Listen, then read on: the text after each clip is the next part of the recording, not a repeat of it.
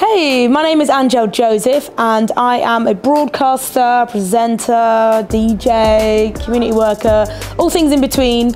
Um, at the moment, I work with BBC Introducing, doing a weekly show. I also have another show on BBC Radio Suffolk called Belongings, um, and at the moment, I am on 1Xtra at like 3 am on a Friday morning for the UK Touchdown Tour. I've done some mixes for BBC Sounds and Six Music. Basically, I'm a massive radio nerd, and I love music a lot.